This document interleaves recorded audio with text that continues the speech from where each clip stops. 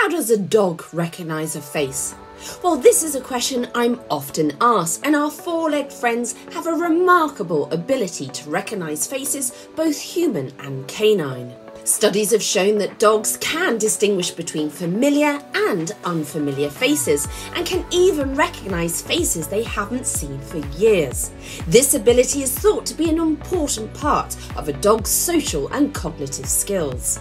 One study conducted by researchers at the University of Helsinki found that dogs can recognise human faces in photographs even when the images are distorted or taken from an unusual angle. The study used eye tracking technology to measure the dog's gaze as they viewed images of people's faces. The researchers found that the dogs were able to recognise familiar faces with a high degree of accuracy and even showed more interest in images of faces than in images of other objects. A great example of a dog recognizing a beloved face is that of Rory, a female French bulldog who's made a name for herself on social media for her adoration of the actor Henry Cavill. The love affair started when Cavill came on screen during the Netflix series The Witcher, and her owners even tested Rory's ability to distinguish Cavill's face amongst others with great success. Rory regularly receives Cavill related gifts, which has resulted in a sort sort of shrine to the Batman star.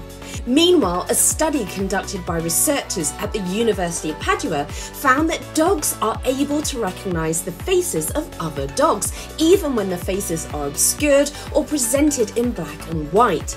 The study used a series of tests to measure the dog's ability to distinguish between different dog faces, and they found that they were able to do so with high degrees of accuracy. So, why do dogs have this ability to recognise faces? Well, one theory is that it's an important part of social behaviour. Dogs are social animals and rely on facial expressions and other non-verbal cues to communicate with one another.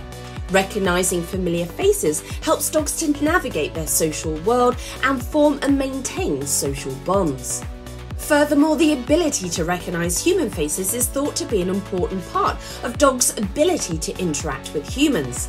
Dogs have been domesticated for thousands of years and have evolved to be highly attuned to human behaviour and communication. So, recognising human faces is likely to be an important part of this ability, allowing dogs to respond appropriately to human cues and signals. The ability of dogs to recognise faces is an important aspect of dogs' behaviour and cognition. Further research is needed to fully understand the mechanisms behind this ability and its role in the social behaviour of dogs, but nevertheless, it's clear that dogs have this remarkable capacity for recognising faces, both human and canine, and it's this ability that is an important part of their social and cognitive skills.